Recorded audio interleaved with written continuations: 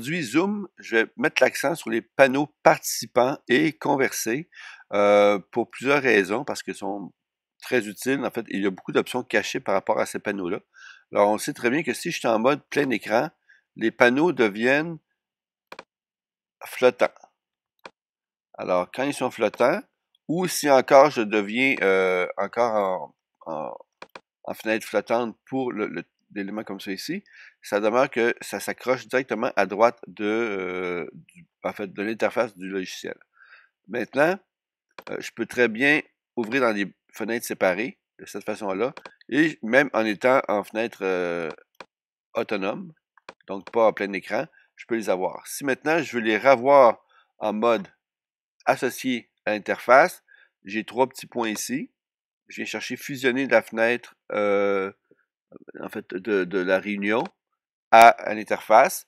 Ça va être la même chose ici pour, pour ça ici, avec le petit bouton plus. Dans un, c'est trois petits points, ici c'est le bouton plus. Alors, fusionner la fenêtre avec la fenêtre de la réunion. Et voilà.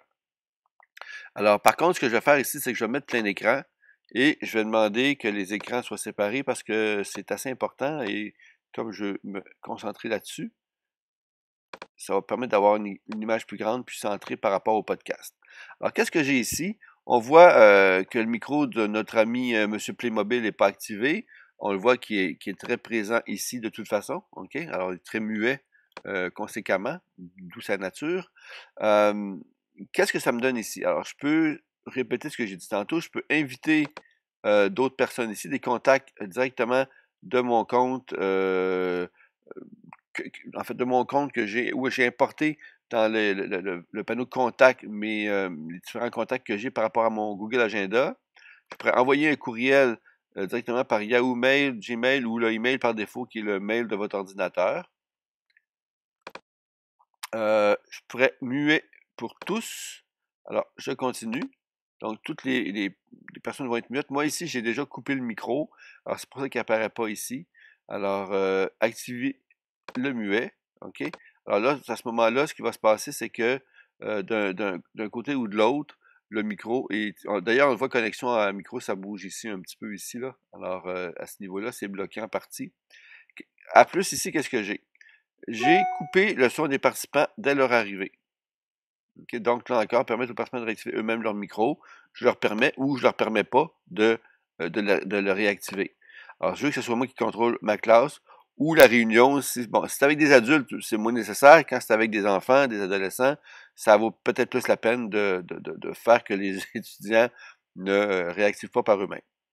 Qu'est-ce que j'ai d'autre? En fait, tout ça correspond, en fait, je l'ai déjà mentionné, je le répète, c'est, ça correspond aux éléments de sécurité qui se retrouvent ici, mais directement dans le panneau par rapport lié aux participants.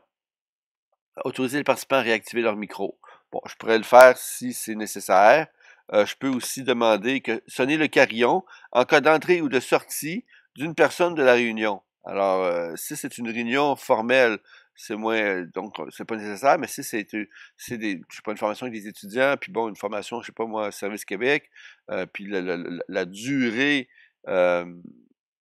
du temps par rapport à un certificat à remettre est, est important, ben, il faut que je sache qui reste ou qui reste pas dans la formation. aussi, euh, autoriser les participants à se renommer. Alors, donc, je pourrais laisser les participants se renommer comme ça ici. Je peux très bien aussi renommer par ici. Voyez-vous, là, j'ai trois petits points. J'ai différents, éléments ici. Arrêter, vidéo, converser, épingler vidéo, nommer l'animateur, permettre d'enregistrer, renommer. Alors, je pourrais renommer la personne ici, mettre dans la salle d'attente. Alors, si la personne est tannante, je pourrais la remettre dans la salle d'attente. Ça, ça va être la même chose que j'ai ici. Alors, j'ai la même chose ici. Alors, on a toujours deux, trois endroits pour faire la même chose. Euh, donc, j'ai conversé ici avec cette personne-là. Donc, la, conversation du message que je vais écrire ici va être directement lié à mon personnage. Alors, euh, salutations. À ce moment-là, comme ça ici, ce n'est que M. Playmobil qui va recevoir la salutation en privé. Si je veux revenir à l'ensemble de tout le monde, je clique ici. Je peux aussi très bien de cette façon-là, choisir mes, personnes qui vont recevoir tel ou tel fichier, soit de Dropbox, de Microsoft OneDrive, de Google Drive ou de Box. Ici, c'est dommage, je n'ai pas le, iCloud Drive de, d'Apple.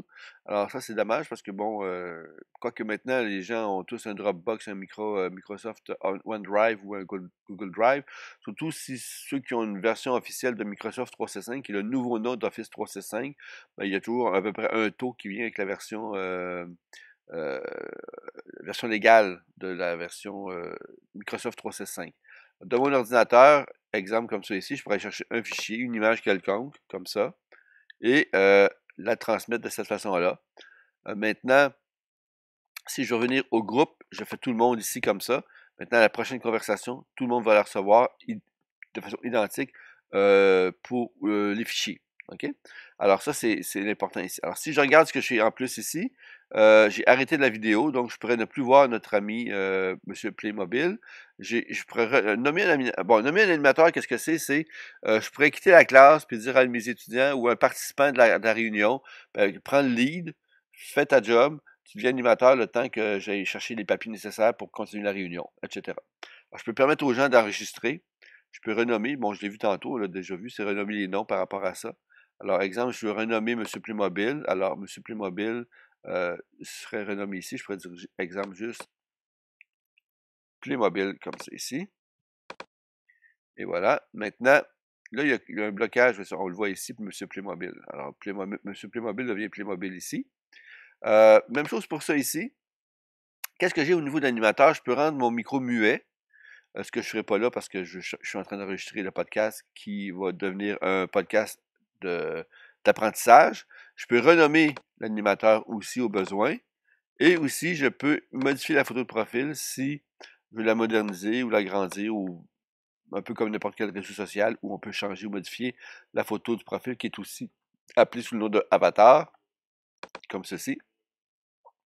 Maintenant, si je prends le panneau conversation, alors on a fait un peu des deux jusqu'à maintenant. Alors on a ici euh, l'heure où on est rendu, on est ici avec euh, euh, les fichiers envoyés.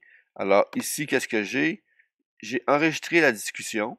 Donc, je peux enregistrer la discussion euh, pour la conserver puis afficher dans le Finder. OK?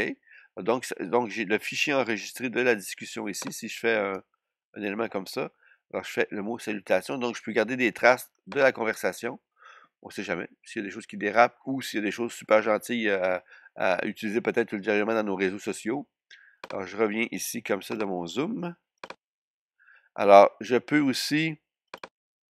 Euh, les, participants peuvent discuter.